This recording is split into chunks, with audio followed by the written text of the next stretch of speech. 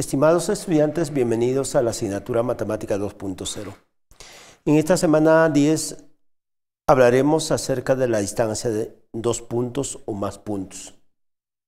Entonces, como primer momento, vayamos haciendo cálculos acerca de cómo se determina el perímetro de un triángulo conociendo los, los tres vértices, las tres esquinas. Previamente aquí tengo los pares ordenados. Entonces en el plano cartesiano han sido ubicados los pares ordenados. El par ordenado menos 4, menos 3 y así están ubicados los demás puntos. Veamos. Yo necesito conocer cuánto mide cada lado del triángulo. Entonces lo primero que tengo que hacer es encontrar cuánto es la distancia desde el vértice A hasta el vértice C, por ejemplo. No hay un orden lógico para esto, entonces puedo empezar mejor parecer AC, luego BC, luego AB. No hay problema. Una forma práctica para no aplicar la, la fórmula es solo contando. Fíjese que para llegar de A hasta C sería, primero voy a desplazarme 1, 2, 3, 4, 5, 6 casilleros. Luego subo 1, 2, 3, 4, 5, 6, 7, 8. Por lo tanto sería la raíz cuadrada de 6 al cuadrado más 8 al cuadrado. Ese 6 y ese 8 es la variabilidad que tiene en los ejes. Usamos la calculadora y aquí la raíz de 6 cuadrado más 8 cuadrado me va a resultar 10 unidades. Ya tengo entonces el cálculo para una, uno de los lados de este triángulo. Ahora encontremos cuánto es que mide la distancia de A pero hasta B. Entonces de A hasta B tendríamos de A hasta B. ¿Ya? Fíjese que lo único que tendría que contar es cuántos hay. 1, 2, 3, 4, 5, 6, 7, 8 y 1 hacia arriba. Por lo tanto sería raíz cuadrada de 8 al cuadrado más 1 al cuadrado. Haciendo uso de la calculadora nos va a salir 8,06 aproximadamente. Y finalmente encontraremos la distancia del lado que falta que sería de B hasta C. Entonces la distancia BC, esto es igual a decir lo mismo, la raíz cuadrada de... Contamos entonces ahora, ¿cuántos son? Fíjese, primero yo puedo subir, ¿ya? 1, 2, 3, 4, 5, 6, 7. Luego 1, 2. Entonces sería 7 al cuadrado más 2 al cuadrado. Haciendo uso nuevamente la calculadora, esto va a salir 7,28. ¿Y qué es lo que pide? Pide encontrar el perímetro. ¿Y qué cosa es el perímetro? El perímetro es la suma de los tres lados de aquel triángulo. Por lo tanto, el perímetro va a resultar siendo igual a cuánto? Sumamos los tres valores. Y eso va a ser igual a 25,34 unidades aproximadamente, dado que no es un valor exacto allí. Bien, veamos un segundo ejemplo en aquel tema. Vea, son los mismos puntos, pero esta vez queremos trabajar cómo es que se calcula el área de una región poligonal, ya sea de un triángulo, de un cuadrilátero, un pentágono. Entonces lo más importante es encontrar y conocer la técnica.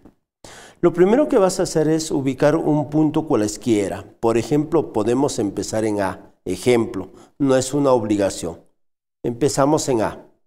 Entonces, digo, A corresponde al par ordenado menos 4 menos 3. Es aquel par ordenado. Luego, lo que sí te recomendamos es realizar una rotación en sentido antihorario. Quiere decir que de A voy a tener que pasar hacia el vértice B.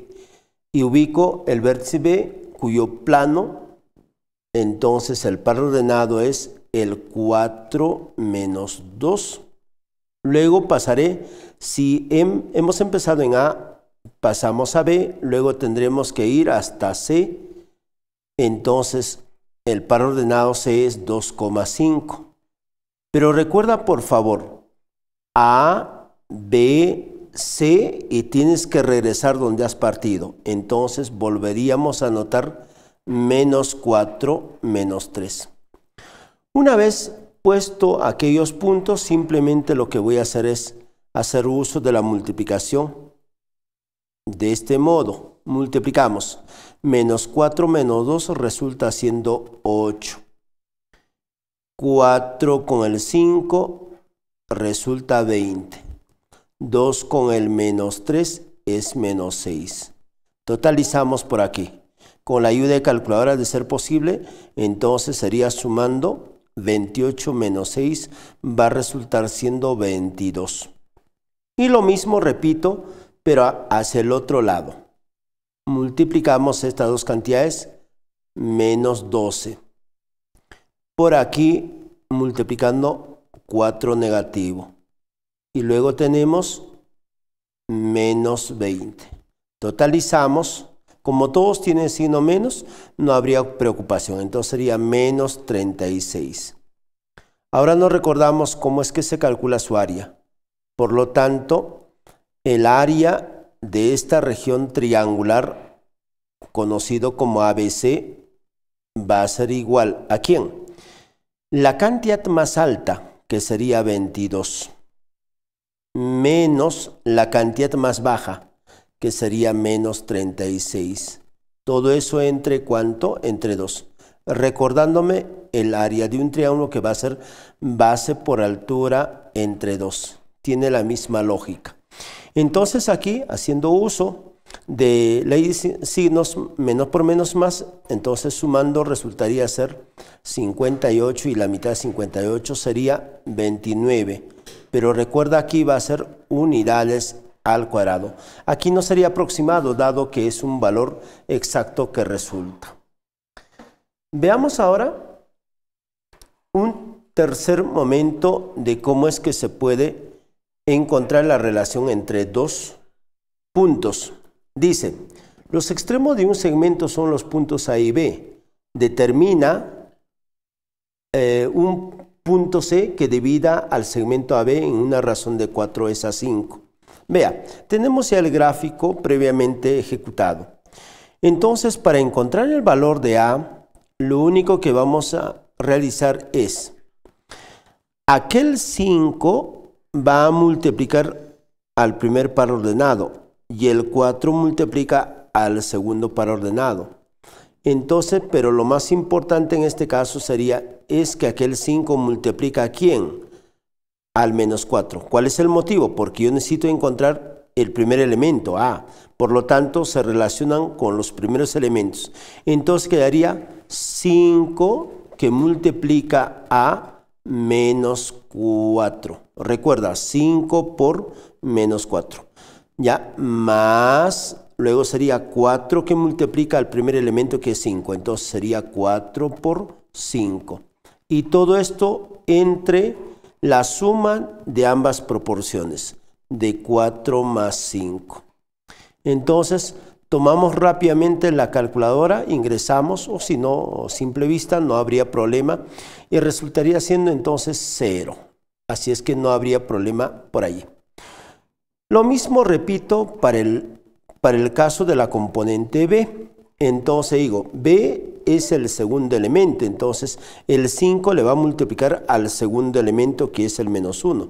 Entonces quedaría 5 multiplica menos 1, luego más 4 que multiplica al 3. 4 multiplica al 3.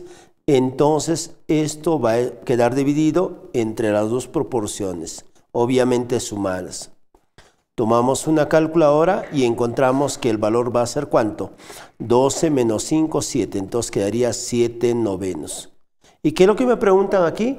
Encuentre un punto C. Entonces digo, por lo tanto, el punto C, sus coordenada sería el 0 con 7 novenos. Y así encontramos el par ordenado del cual me piden. Muchísimas gracias.